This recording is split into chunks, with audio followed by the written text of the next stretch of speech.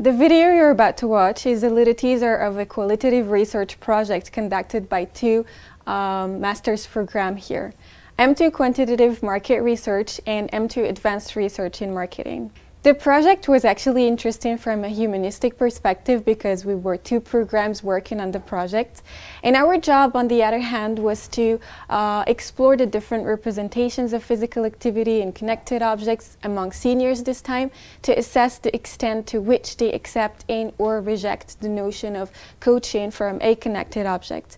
I will let you enjoy the video and contact us if you have any further questions, although I'm sure you will have some. We all have stereotypes for seniors. They're sick, lonely, and don't know a thing about technology. However, the overall picture showed a different reality. Did you know that by 2060, one in three Europeans will be over 65? But don't you dare call them a senior. Wealthier, internet savvy, connected, and so into the loop. And hey, they also care about their appearance to stay fancy and look fashionable. And if they happen to do some sort of activity, they are keen to do it socially.